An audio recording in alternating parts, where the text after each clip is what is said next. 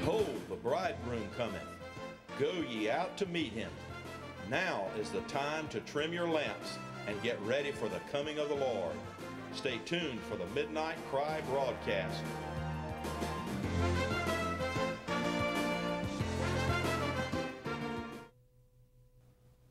It wasn't just words that Jesus said, but it was everything he did that let us know that the smallest and the weakest of us are loved, that we matter to the one who made us, that he longs through all that he did for us to give hope. This was what, the, this is what Paul was sharing. And of course, he, I, he probably told the story of, of, how, of the woman who was taken in adultery. We've heard so many times. And there she was. The religious people were just so, you know, looking for, looking for somebody to condemn, looking for a way to condemn and reject him and say, I knew there was nothing to you. You, you didn't have the right answer here. And God gave him wisdom and grace that put them to shame and caused them to leave. And, and the shame went with them, and he lifted the shame from that poor woman. And when she left there, she was clean. She was full of the love of God and of hope. Over and over and over and over and over again, Paul could tell the stories of, because this was stuff that had just happened. This was only like, you know, a couple decades or so before. This was real recent history. You know, he could say, look, you know, we've got a friend we're traveling with us. He's, he, know he knows about all this stuff. He was in, I've met people who were there. I've met people who actually walked with him and they were eyewitnesses of all of these things. They saw him walk on water. They saw him raise the dead. They saw his power against demon spirits. They saw all of these things in this man who came to, to show us, not just to tell us about God, but to show, show us by living among us. But then in the eyes of people, the unthinkable happened, didn't it?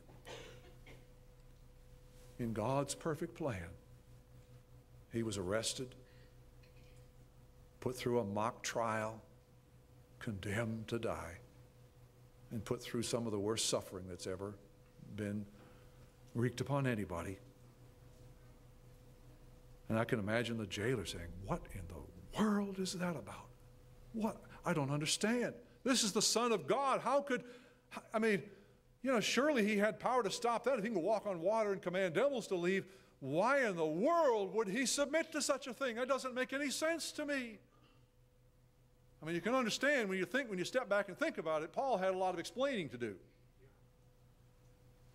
He did summarize the message in its utter simplicity, but in order for that message to make any sense at all, he had to really tell who Jesus was, didn't he? And that's what he did. And then Paul was able to tell him why such an unthinkable thing had happened. That the entire human race, because of our sins, had been separated from a holy God. That the penalty for that sin was death. That without something we were in an utterly hopeless state, separated from God, unable to help ourselves. Well, he already felt, in some sense, maybe he couldn't define it, but he already felt his need. He knew he was in the presence of something that he just caused him to be fearful, uncertain, to realize he had a need. I pray there's somebody here that if, if you're in that place, that you feel that need. God wants you to feel it, but He wants you to feel it so you'll run to Him. And He can lift the burden from your heart. So, anyway, Paul explained that all of the guilt, all of the sin, all of the shame, every evil thought, every evil deed, we sang the song this morning, was put upon Him and charged to Him. I tell you, how does that make you feel when you think of some of the things you've said and done? for him to be willing to do such a thing. To be who he was and to be willing to stoop to that place where he took my guilt upon himself. Praise God. But he did it with willing heart. He did it with joy. And Paul had Paul explained all this to him that he died as our substitute. He died as our representative, I think is a better word. If I had gone to that cross, that would have been the end of me. But he had no sin of, of his own. He was like that spotless lamb that God had used as a type in the Old Testament. And sins had been symbolically placed upon that lamb, and the lamb was killed as a substitute for the people who had done the sinning. But here's Jesus, the Lamb of the world, Lamb of God that takes away the sin of the world. And so Paul continues to explain. I could, I could still imagine this jailer and his family living, it's almost like they're living through what's going on as he tells the story. I mean, you remember how the people who, were, who, who did live it felt confused. Just, I, I thought it was going to be this way, and look what's happened. I don't understand. Not only do I not understand, I see that evil is, is seemingly triumphing here, and we're in danger now. Oh my God, what is going on? I don't understand. I don't get it. And you can just sense, if you think about it, this, the feeling of this fa- man's family as they, as they were brought through something that they'd never heard. You know, we've heard all this.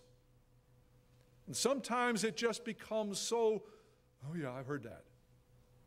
But I pray that it will become real and new where it needs to yes.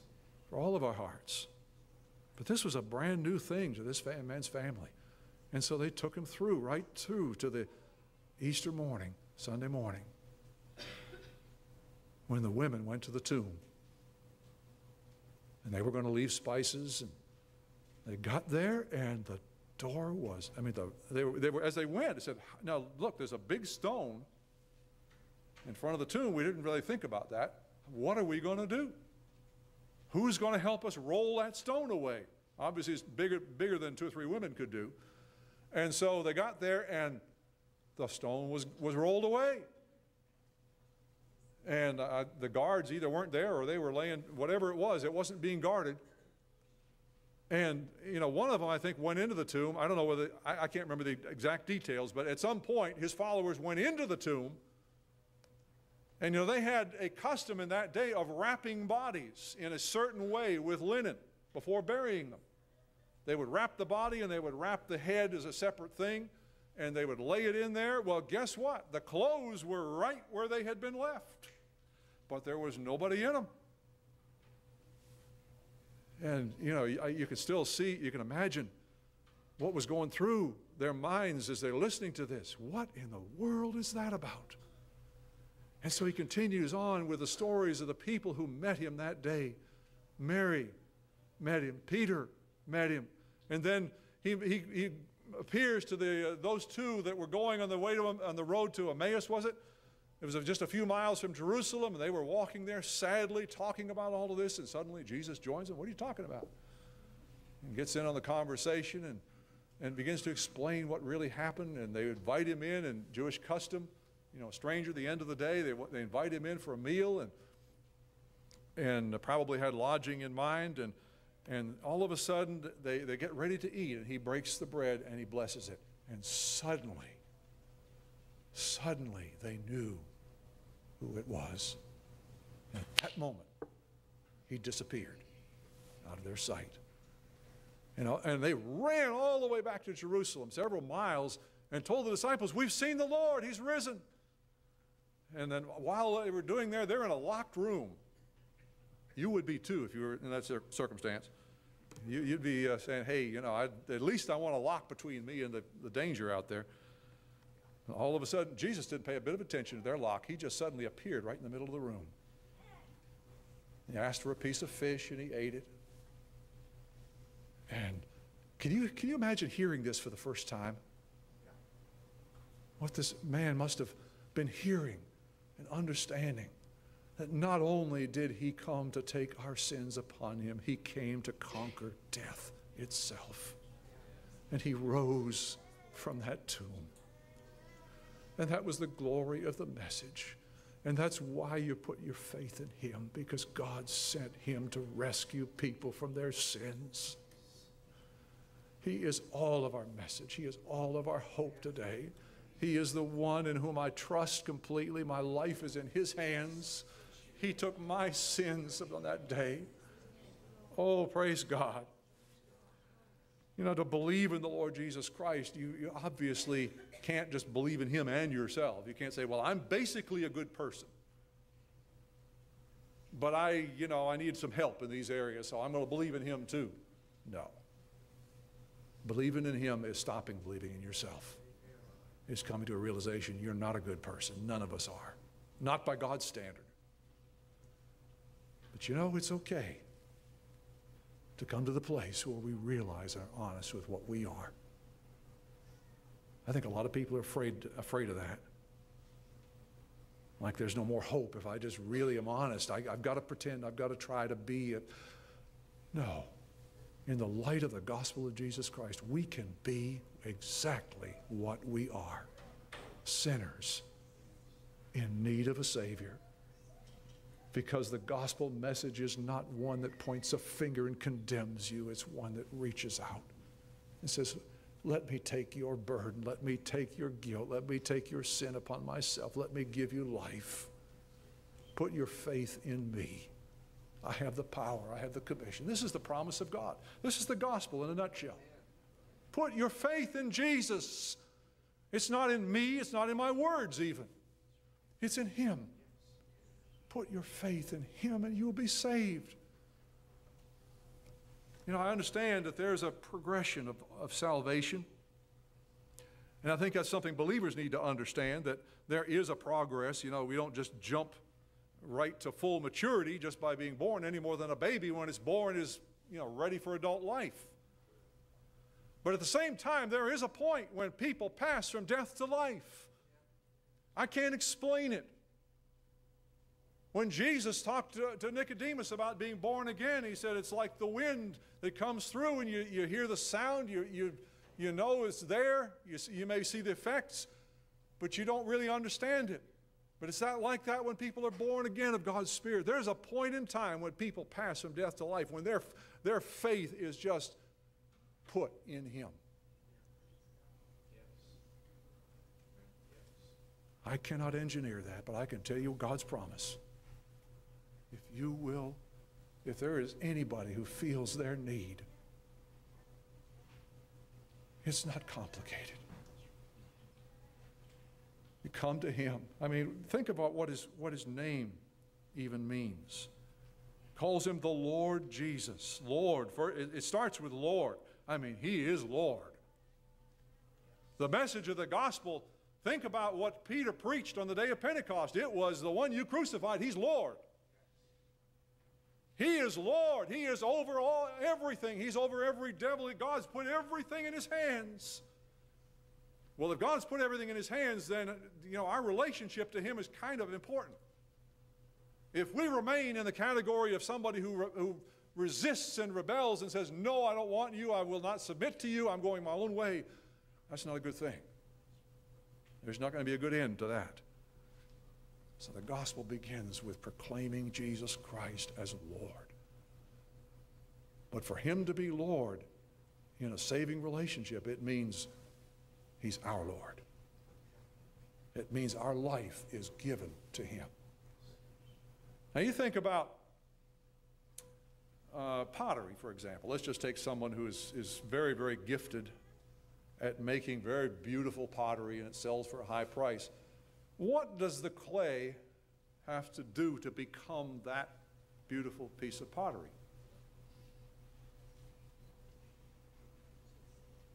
It submits, doesn't it?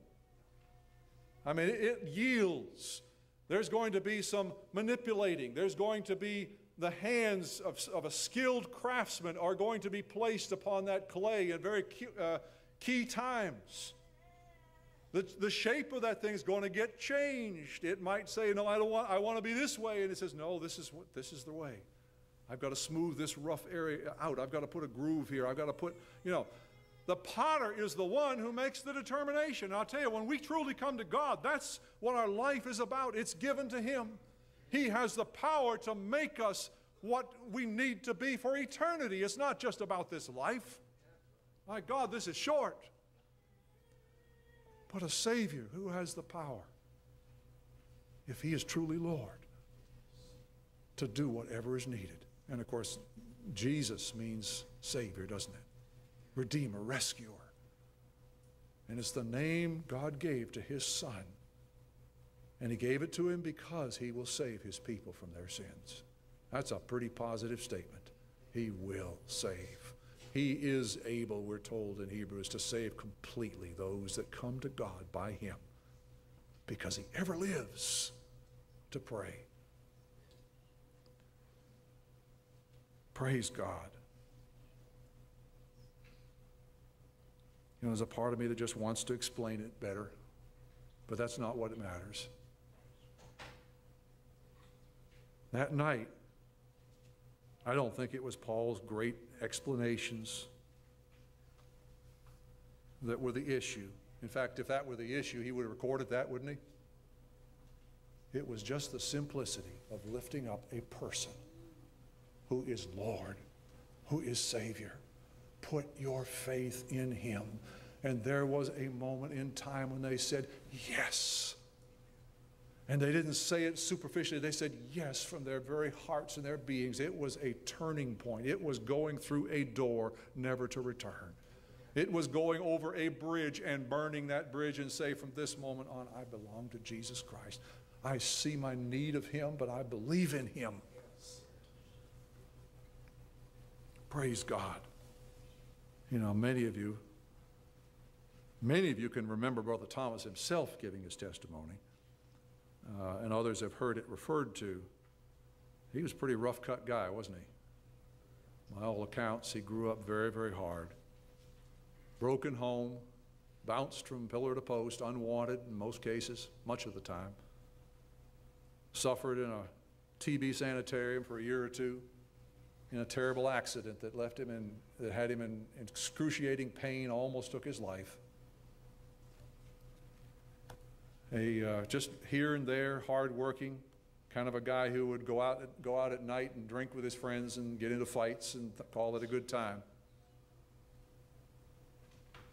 But all that while, there was something kind of percolating in the back of his mind and his heart. He knew there was a God. He knew he needed to be right with that God. He knew he wasn't. God had, be, God had just begun something there that was just kind of simmering in the background. Course, he had to make a living, and one way they did it back then was, was selling illegal whiskey, so he was a moonshiner. But you remember the story of how he went to that particular church, happened to be a Baptist church. And they, have, they had some of the ways, traditional ways that evangelists worked. They'd, the evangelist preached the gospel, but then he gave a trick, inv- invitation. Every, every head bowed. You have a need, raise your hand. All right, everybody raise, raise their hand. Stand up. Okay, everybody that stand up, come down to the front. You know, just, just manipulating people into trying to make decisions. But there were people there who, who knew God in spite of the ways things were done. Of course, Brother Thomas got up there and he was a bit of a rascal. He's saying, Look, I didn't come down here to join your church. And he was beginning to make a fuss. And so they said, Well, we better, you know, he's making a disturbance. Better get him off to the side and talk to him out back. So they went to the office and talked with him a while. And you remember what the pastor, I think it was, asked him. He said, Do you want to be saved? And Brother Thomas knew enough to say, Yeah. But he said it in a way it was do you want, I mean, uh, everybody wants to be saved. It was just kind of a general, sometime, some, some way, somehow kind of thing. And the pastor was wise enough to say, no, they don't. But he also asked the other question Do you want to be saved now? And God used that simple word to bring him to a point where he said, Yes. It wasn't just the words of the pastor, it was the words of God to his heart. What, do what will you do? And that's what salvation comes down to. It's God confronting your heart in whatever matter is necessary. It doesn't mean he comes in with a fist. It doesn't. Sometimes it's the most gentle thing. Some people's salvation is a very cataclysmic, you know, just a tremendous experience, and other people's just almost imperceptible. But I'll tell you, there's a point in time when God confronts a heart and says, What about you? What about now? What will you do?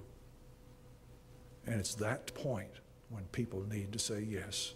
There's a lot of people out there that think you can just kind of take them down the Romans road and, and get them to say the right words and, and like they have the power to make the decision anytime. That's not so. Nobody can come unless the Lord draws. It's when He convicts the heart. You need me. And I have the power to, to cleanse you and make you, my, make you God's child. Will you surrender? Will you put your faith in me? That's when it matters. So many people in this world are just resist at that point and pull back. But I pray, I tell you, you can be saved right now if God's talking to your heart. You can say yes from the depths of your soul, and He will wrap His arms of love around you, and you will be His. He can give you His peace. He can let you know that you're real, that you're right with Him, that you're ready. Should you die today, you would be ready to stand before Him, that you're His. I just leave it with you. I don't know. My words, as I say, have no power, but His do. What a simple gospel. Believe in the Lord Jesus, and you will be saved. And the question is, what, where do you stand with respect to this? Has God saved you? Have you really cast your lot completely with Him? Or are you still standing outside the door? I'm going to leave it between you and God. But if He's knocking on your heart's door, you say yes. There's a lot of people here that would join and say, Say yes. I've been where you're at. I've been standing out the door. I know what a battle it can be, but the Lord brought me to a place where I knew that He loved me, and I said yes, and I'm not sorry. Oh, praise God. It's a challenging road through life, but He walks you, He walks through every step of it with you. And what a hope He has laid before us. Oh, what a hope the gospel is. It doesn't depend upon my righteousness or anything, it depends on Him and His grace to take me there. What a hope we have. Is that hope yours this morning? Praise God.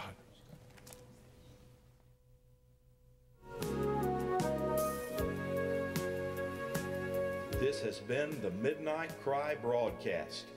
If you would like a DVD or a CD of today's message in its entirety, please request it by program number.